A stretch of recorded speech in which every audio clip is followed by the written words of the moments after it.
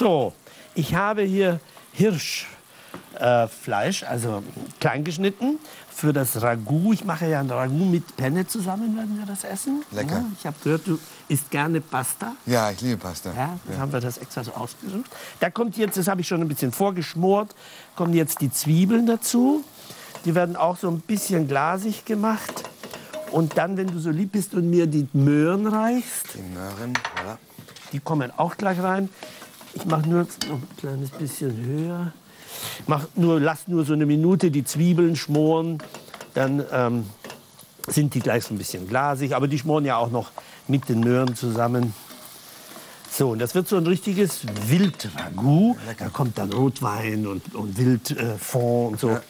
Ich glaube, dass das ganz schön sein wird. So, was kommt dann jetzt noch rein? Tomatenmark. Da mache ich so. Nee, Tomatenmark. Die, die Ah ja, genau, genau. genau. so. Da mache ich mir so eine kleine, so einen kleinen Hof hier, so eine Ecke und tue das so ein bisschen rein. Dann karamellisiert das so ein kleines bisschen. Oh, wow. So, darf ich dich bitten, das wieder zuzumachen? So. Dann, was habe ich noch? Tomatenmark. Jetzt kommt der Wildfond. Der Wild- 200 Milliliter, das ist das Glas. 200 Milliliter. Ja, das ist schon abgemessen. Das ist, Das die, ist okay, ein super. halbes Glas. Kannst du reingießen? Das Ganze jetzt. Jawohl, das ist das. Sehr schön. So. Und dann kommt 150 Milliliter Rotwein. Dann nehme ich den, den wir nachher dazu trinken. Oh, das ist ein Spanier aus dem Priorat, ein von Wallach, ein was Neues. Ich habe das gerade erst kennengelernt. Da gieße ich ein Aber er riecht. Ich habe ihn vorhin schon mal ganz kurz angerochen. Der riecht sehr gut. ja, der riecht gut, ja. Ja, ja, ja, ja. Aber den gibt es erst als zweiten. Vorher, zu deinem Gericht, gibt es ja ein Rosé. Ja, das ist gut. Das passt. So, ich glaube, jetzt noch ein paar Gewürze. Da gibt es noch ein mal, was? Ich glaube, der Thymian kommt jetzt rein. Ja. So, frischen haben wir da klein Ja. gemacht. Und ein bisschen Nelken. Aber da muss man vorsichtig sein. Ja, ein Viertel. Das nimmt man auch zum Betäuben her. Ja? Ja, für die Zähne und Zahnschmerzen. Ach so, ja, ja, ja, ja, ja, ja, ja, richtig. so, Nelken und Orangenzesten. Da habe ich neulich ein bisschen zu viel gegeben.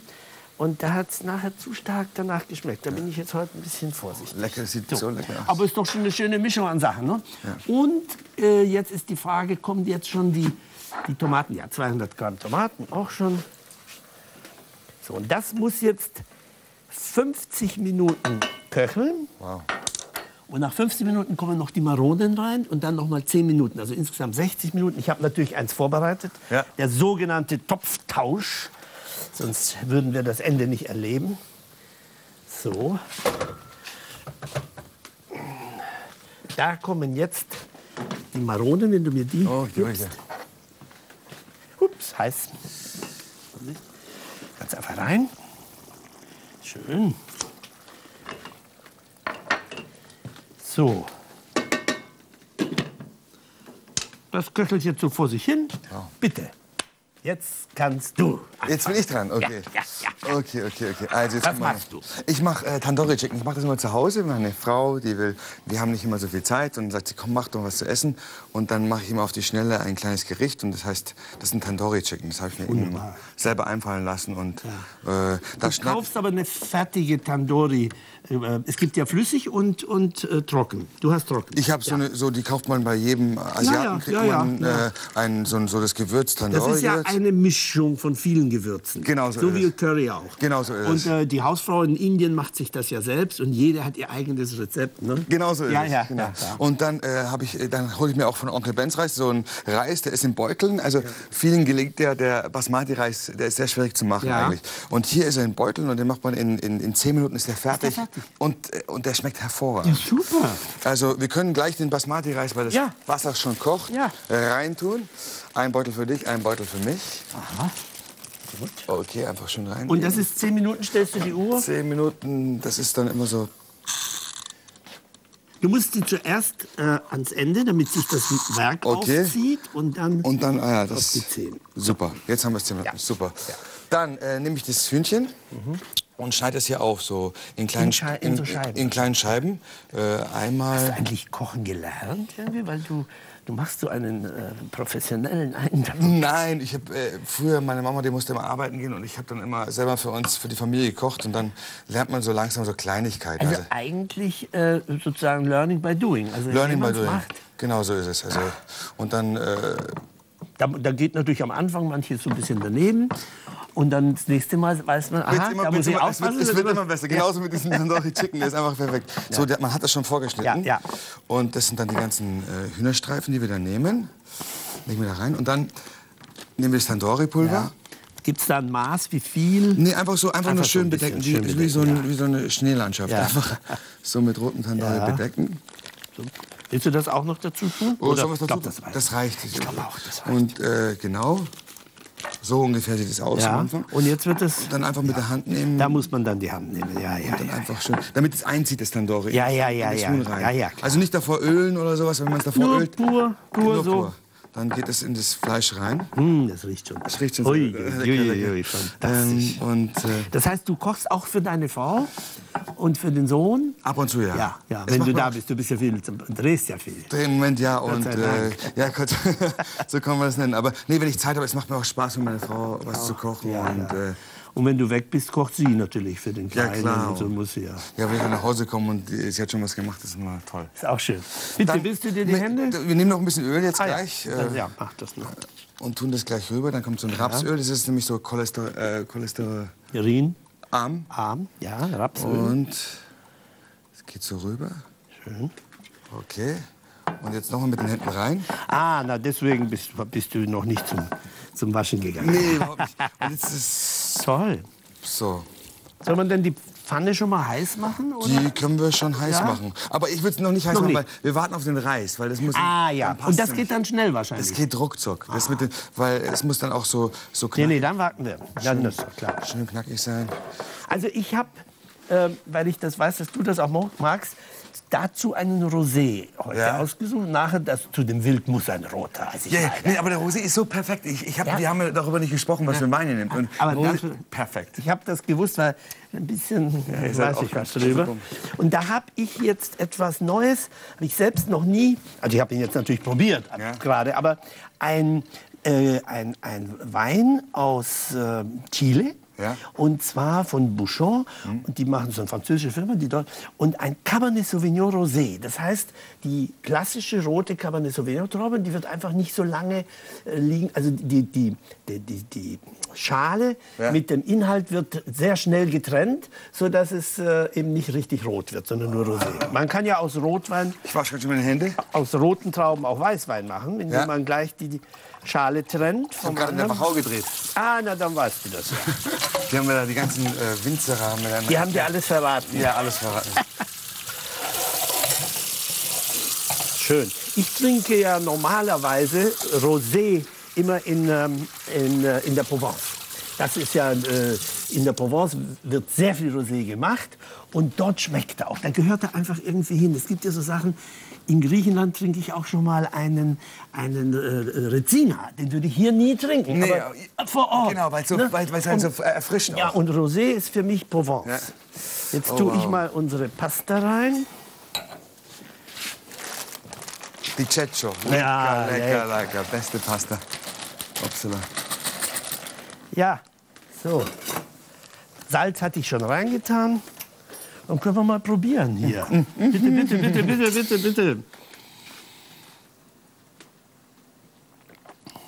Sehr lecker, schön. sehr lecker, sehr lecker, sehr lecker, sehr lecker, sehr lecker. Gut. Sag mal, du bist ja, du bist Deutscher. Also aber ich- türkischer Herkunft. Also ich bin in der Türkei geboren. Ja. Mein Ursprung werde ich nie vergessen. Ja, aber, aber wie alt warst du, als du Da nach war ich vier Jahre alt. Als du nach Deutschland Nach kamst? München und Also sozusagen, wie man heute sagt, die Sozialisation hat in Deutschland stattgefunden. Ja, total. Ich, bin, ich, ich lebe hier. Ich fühle mich, das ist mein Zuhause hier. Mit meiner Frau, die Französin ist, bin ich Vollblut-Europäer. Aber, Europäische aber ich, Union. ich, bin- ich bin schon, also ich, man kann sagen, Turko Bayavare, Turko Bayovare. aber ich bin Und hast du, du hast vorhin gesagt, deine Mutter musste arbeiten, deswegen hast du angefangen selbst zu kochen. Das heißt, du hast von ihr auch nicht viele türkische Gerichte gelernt. doch ab und zu mal Ja? ein paar Kleinigkeiten, die ich kenne. Aber es ist jetzt so, dass ich da Der viel... Imam fiel in Ohnmacht. Da gibt es so gefüllte Aubergine, das Ja, heißt der Imam. Ah, ja. Und die Griechen nennen das auch Imam. Die macht, das hat meine Mama immer gemacht. Das ist toll. Da weiß ich Typisch. ein bisschen, wie es funktioniert. Aber Ja, das, da muss, ich mag's, ich bin halt so, ich bin auch so, ich bin ein bisschen verwöhnt mit Essen. Mhm. Und wenn ich was mache, möchte ich es gut machen. Und, äh, Gut heißt aber nicht unbedingt Gourmet, also so drei Sterne. nein. Auch einfache Sachen. Das ist ja auch einfach. Meins ist ein einfaches, aber gut. es muss gut und es muss gut schmecken. Ja. Gut und es muss Qualität Ja. haben. Ja. Ja. Selbst wenn man äh, nur ganz einfache Spaghetti mit ein bisschen Butter und Salbei und irgend sowas, das ist ja, wenn das gute, frische Blätter sind, gute Spaghetti, gut Butter, frische Parmesan. Genau. Also die Italiener sind Spezialisten dafür zum Beispiel. Das ist unglaublich. Zum Beispiel diese fertig gemahlene Parmesan. Nein, Die haben ja mal festgestellt, da gab es einen Prozess, dass Ja. eine Firma solche Regenschirmknaufe, weißt Ja, du, die haben ja. die gemahlen und haben das als Parmesan verkauft. Aber so schmeckt es auch manchmal. Nein, ich mag es, wenn es ganz frisch ist. Sie muss frisch, Oh, frisch lecker, gerieben. Ja, Man gönnt also, sich ja sonst Man gönnt sich ja sonst nichts. Eben. Gut, also meine Pasta habe ich gestellt. Nein, Idiot, 15 Minuten. Jetzt sind drei Mhm. Das waren drei Minuten. Ganz sicher. Ja, ja. Außerdem muss man sowieso. Und die sind immer ganz genau. Die sind ja immer so. Ja, aber man muss trotzdem. Elf, elf. Ja, wir haben es ausprobiert vorhin, das waren 15. Ja. Und ich werde sowieso, bevor es läutet, schon mal probieren. Bei Pasta Okay, okay, bin ich okay. immer sehr vor. Ich auch, ich immer, auch. immer. Kann man sich nie hundertprozentig verlassen. Ja, ja. Es kommt auf die Größe vom Topf an und auf alles Mögliche. Gut. Wie viele Minuten brauchen wir noch für, für, Für die- mein Reis ist, äh, es sind fertig in drei Minuten. Und dann Drei geht's Minuten? eigentlich. Ich könnte eigentlich. Schon anfangen? Sollen wir? Ich, Nee, ich sollen mach, wir- schau, das ist eine sehr kleine Flamme. Flamme. Die kleinste, die ich habe. Okay. Und wenn wir das hier drauf machen, dauert es jetzt sowieso eine Weile, bis die Bis Pfanne heiß ist. Ja. Genau. In drei Minuten tun wir das raus. Ja. Und dann tun wir die Pfanne auf den großen rauf. Und dann. Und dann machst du das und dann tschüpp, tschüpp, genau, genau. das das schmeckt so lecker. Oh, das weiß ich. Ah, hör mal, Tandoori. Und so, so, äh, weißt du, was, man, was jetzt ganz toll ist, ist, dass jeder sehen konnte, wie einfach das ist. Oder? Ja, schnell zehn und Minuten. wenig Sachen, Zehn keine Minuten. große Zutaten ist. Und so, Lecker. oder? Lecker. Also, Sie haben es alle äh, probiert schon mal, oder? Bei Wir haben wir haben es mal ausprobiert. Ja, die probieren es mal aus. Aber guck mal, das war auch nicht aufwendig. Okay, meine Zwiebel war schon geschnitten, das Fleisch war geschnitten, aber auch nicht große Aber es sind 50 Zeitaufwand. Minuten. Es sind 50 Minuten. Das stimmt, aber ich meine nur, da kannst du ja wieder was anderes machen. Das Stellst stimmt, das stimmt. Uhr- Oder ein Uhr Drehbuch lernen. Ja, eben, eben, eben. Ja, ja. Sehr schön, sehr schön. Also müssen wir noch warten, bis die Uhr klingelt Ja. und dann geht's los.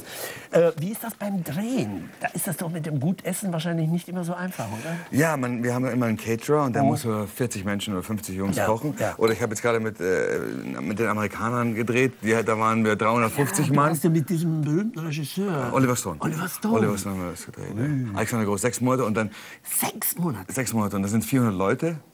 Und da muss man natürlich, ist immer so schwierig für 40 oder 600 Leute zu kochen, äh, 300, 400 Wie, viel, Leute zu wie, kochen. äh, äh, wie ist da dann das Essen? Ist nicht gut, oder? Doch, aber das Beste ist, man holt sich einfach äh, sowas vom Grill, man grillt ein Fleisch oder Ja, sowas, ja, ja. simpel und, Und hast du dann manchmal auch eine kleine Wohnung mit Küche oder so? Oder ein äh, Apartment? also wenn ich, ja, ich habe immer so ein Hotel oder eine Wohnung, je nachdem, also meistens immer Hotels. Im Hotel, da kann man nicht selbst kochen, ne? Nee, sehr selten. Das das wo war es genau? Wo war das nochmal? Wo war es nochmal? Ich habe ja in Barbados gearbeitet fürs ZDF. Zu- Zwei Monate habe ich mir einen Kochtopf gekauft. Das? Ich habe meine Pasta. Ich habe zweieinhalb, zweieinhalb Monate keine Pasta gehabt. Und die hast du dir da selbst gemacht? Ich habe alles Im geholt. Hotel? selber im Hotel ja, warum nicht? Gut, jetzt So, ist der Reis nimm das damit, das Ja. ist heiß. Ups. Dort ist... Äh, und ich tue das jetzt hier rauf. Jo. Äh, nein, jetzt habe ich alles falsch gemacht. Schau mal, Alfred, wie das Ja. hier riecht, das Reis. Der Reis riecht schon so perfekt. Das ist unglaublich.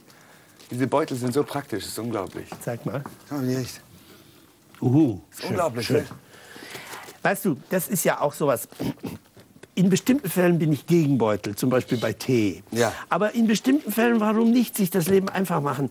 Diese Pauschalurteile, Ja. dass man immer sagt, alles muss selbst gemacht sein und so. Ja, Nein, manchmal ist es gut so, das ist doch wunderbar. Ja, es, ab und zu, man muss es, glaube ich, Ja, ab und warum nicht? Warum nicht? Wenn es gut schmeckt nachher, das ist doch die Hauptsache. Oh, das schmeckt hervorragend. Ich bin so ich glaube, es wird sogar ein Beutel für uns reichen. Ein Beutel, glaube ich, reicht für uns, gell? Super.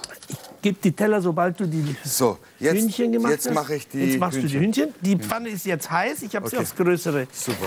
zwar etwas Das klein gestellt, aber Das erste Mal, wo ich das vom Fernseher mache, ist ja unglaublich. na ja, es ist wie zu Hause. Ist doch. So, Ist doch bei mir in der Küche. Jetzt machen wir, bevor das mit der Höhe schon mal anfängt. Ah, das tust du dann oben drauf. Ja, Links ist brauchst du einen Löffel. das ist Löffel. Ja. Dann, ähm, das wird gerade heiß. Sesam kommt drauf. Wunderbar. So. Wie sieht deins aus? Sehr gut. Äh, das sieht gut aus. Oh. Okay. Das ist ein bisschen groß, die Flamme, aber ich kann sie nicht kleiner machen.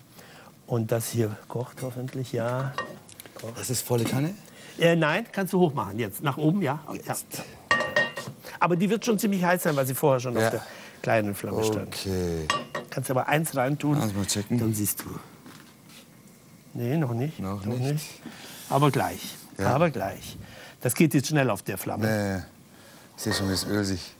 Fängt schon an zu britzeln. Ja. Ne? So bisschen. Viele Köche, Köche sagen ja auch, man darf es nicht zu heiß stellen, weil dann geht das Fleisch immer kaputt und weiß, so. ja. Aber äh, das ist jetzt nur für diesen Moment. Das ist ganz, ich glaube, ganz jetzt ist es gut. Siehst du, wie sich das schon so. Okay. Super jetzt. Ja, ja genau richtig.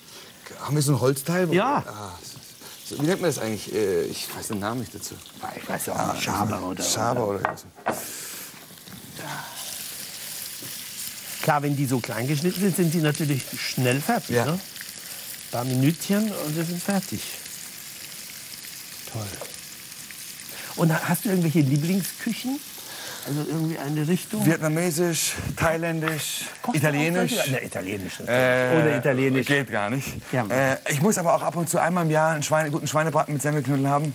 Und machst du den auch selbst? Oder Nee, gehst du- da da geht geh man ich- in München. da geh ich in- München. Gibt's- ich oder- glaube, das kann man besser gar nicht zu Hause machen, wie man es in so einem Genau. echt bayerischen Lokal Oder kriegt. Kaiserschmarrn. So in Österreich, in Salzburg gibt es oh, einen. Franziskaner so. Ja, lecker, lecker, lecker. Das ist auch schön, so Sachen. Aber jeden Tag möchte ich nicht so deftig Nee, essen. einmal im Jahr. Ich Ja, glaube, ja. ist einmal im Jahr. Also man muss es immer schön Ich mache es auch meistens, wenn ich in München zu Besuch bin, Ja. ja was zu tun habe, dann Jetzt werden die auch so ein bisschen leicht. Sehr schön. Ja, die sind ja auch rosé sozusagen. Ja, ja, Also so. optisch sowieso, aber auch geschmacklich. Weil es auch exotisch ist. Ah, ja. Also es ist ja. Also da wäre jetzt so ein ganz leichter Riesling wahrscheinlich gar nicht ideal dazu. Der, ist, der wird sich, glaube ich, nicht durchsetzen. Nee, ich weiß es nicht. weil der? Rosé, der ist so, wie nennt man, der ist so kräftig. Der Ja, ja, Rosé. das der ist reicht ja auch ein vollkommen. etwas kräftiger. Ja. Der ist wunderbar. Und sag mal, du warst, als deine Mutter dann arbeiten musste, warst du auch eine Zeit lang im Kloster, oder? Ich war im Klosterinternat in Bayern, im Ja. Chiemgau. Und war Bei Nonnen, oder? Bei Nonnen. Obwohl ich äh, als Moslem geboren bin, war ich auch dort Ministrant. Also ich... Äh, Ein muslimischer Ministrant. ja, also ich habe dann am Abend auch zu zwei Göttern gebetet und so. Und jetzt bin ich aber Deist. Also ich glaube an Gott, aber an keine Religion. Ja, Aber das war aber das war auch eine interessante Zeit. Äh, manche haben ja sehr unangenehme Erinnerungen an Internatszeiten, manche sehr angenehme. Wie war es für dich? Mama hatte keine Wahl. Allein eine Erziehung zu machen, ist immer sehr schwierig. Für Sie mich ist, sie ist aus der Türkei gekommen ohne ihren Mann. Ohne Mann- ohne Hat sie Mann vorher Papa. getrennt. Genau, genau. Und ist mit den zwei Genau. Kindern, du und deine Schwester. Ja, und es war aber gut, weil wir haben da, weil die hat die ganze Zeit gearbeitet und die, Arbeit, die Arbeit auch von meinem Vater übernommen. Und es ist dann immer gut durch die Schwestern, die auch uns total gleich behandelt haben. Und Ja, Äh, da sich zu, auch so zu, zu sozialisieren mit Ja, der, ja. Und, und da hast du auch wahrscheinlich vieles mitbekommen von Kultur und so.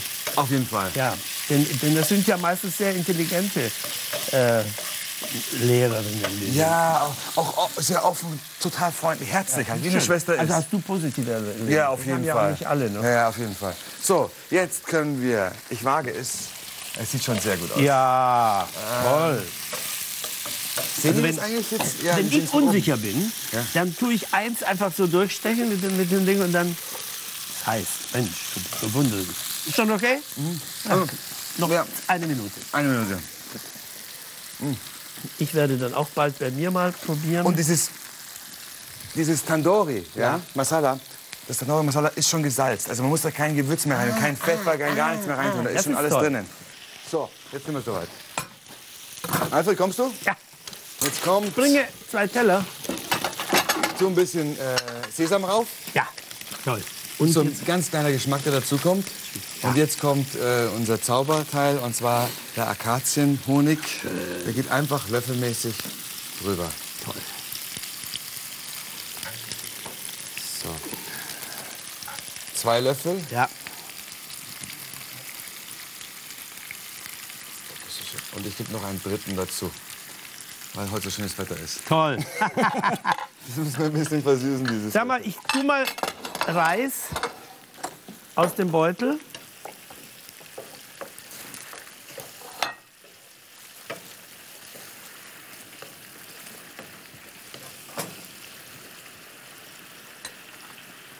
Schau mal, wie das so aufquillt, das Zucker. Toll. Das sieht ja aus. Also auch das Auge, ne? Ja. Das Auge isst ja mit. Ne? Wo sollen wir es hinstellen? Hier, warte Da. mal, ich nehme dir das weg. Genau, das tun wir weg. Super. Tue ich auch weg. Dann hole ich schon mal äh, den Joghurt, den Ah, Joghurt aus aus, dem... aus, aus dem Kühlschrank. Der ist genau, Kühlschrank. der ja. haben wir im Kühlschrank angetan. ja, ja, ja.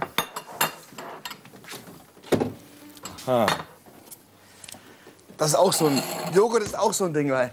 Es gibt ja so eine, wie man früher immer den Joghurt zu Hause gemacht hat. Ja. Und es gibt sehr wenige äh, Firmen, die, äh, die das noch so äh, Original. Ist- original ist machen. das der bulgarische? Und dieser bulgarische, Ist- ist die gut? machen noch so diesen Originalgeschmack Ja. von Joghurt. Ah, ja. Müssen wir probieren, ganz Ja. Auch Ich so bin, ja ein, ich bin ja ein Fan von dem 10%igen griechischen. Mhm. Gut. Der ist so lecker. Also. Der ist gut. Okay, dann ist das jetzt fertig. Wir könnten das eigentlich irgendwo ganz schnell reintun in so ein... Willst du eine Schüssel? Äh, Sollen wir in eine Schüssel reintun? Nee, tu mal so. Tu mal's gleich rein. Ja, ja. Das heißt, wir Nimm brauchen dir so einen ein, Löffel. hier, hier, hier, hier. Ah, spitze. Das nehme ich dann. Nimmst du das? Ah, okay. So. Okay.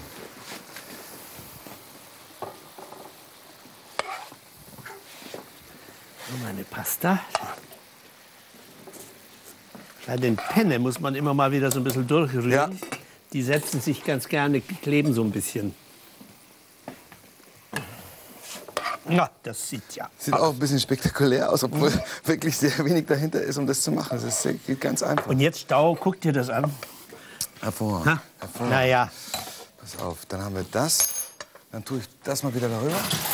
Und jetzt kommt der, der Joghurt. Und viele Leute glauben jetzt gar nicht, wie gut es schmeckt, so ein Basmati-Reis mit einem Joghurt drüber. das habe ich noch nie gegessen. Es ist hervorragend. Das muss einem natürlich auch schmecken. Ich tue das einfach nur hier rauf. Ja, dann, ah ja. da bin ich jetzt, da bin ich jetzt gespannt. Du hast noch nicht probiert, gell? Nee. ja, ja. Also, wenn, wenn es dir nicht schmeckt, sag's nicht, weil meine Frau schmeckt sehr gut. Ja. Sehr gut. Okay, ich bringe das mal hier rüber. Fleisch wird noch ein bisschen heiß sein, Okay. nehme ich an. Ja. Aber zusammen mit dem kalten Ja. Joghurt. Ja? Schmeckt dir? Ja, su- super, super lecker. Lecker.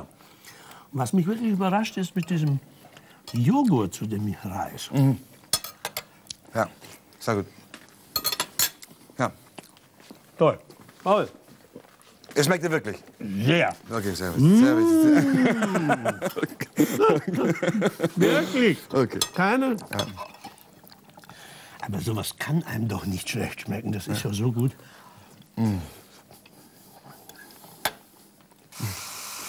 Hoppsa. Soll ich dir helfen? Ja, es geht. Ja, ich glaube, wir müssen die.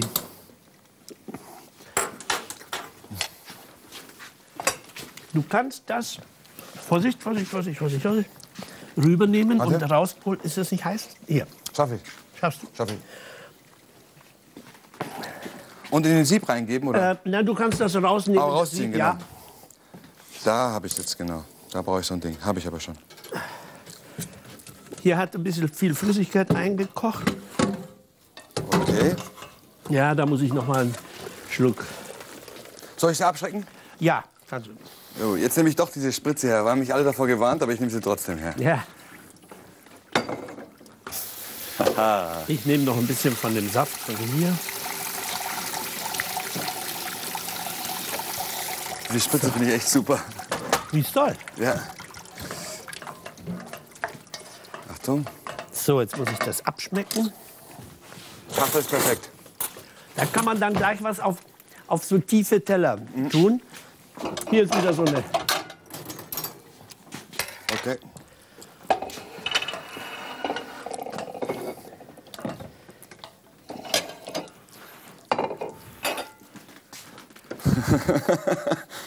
das macht jetzt. Moment, upsala. Was ist der Löffel. Da.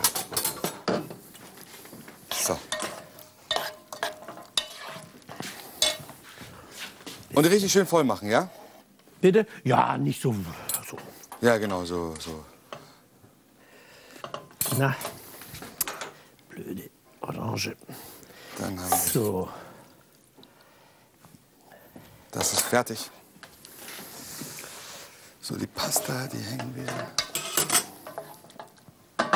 Upsala. Tun wir hier rein.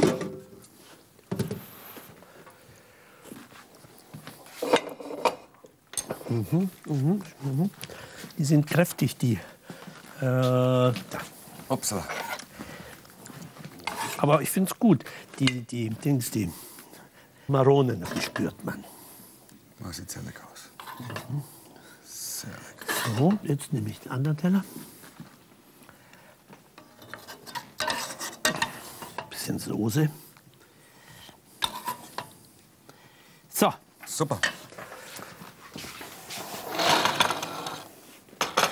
So, so, zweiter Gang.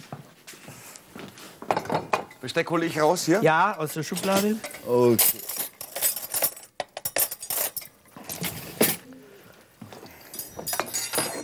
Normal isst man ja Pasta nur mit Gabel.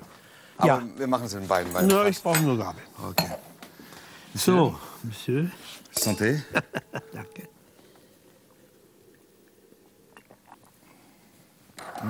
Lecker. Hm, der, der Untypisch für Spanisch. Ja, Ja. schmeckt so gut, wie er riecht. Ne? Ich habe ein bisschen zu lange das ziehen lassen. Ne? Wunderbar. Und, ja, ein bisschen wenig Flüssigkeit. Sehr lecker. Sehr lecker.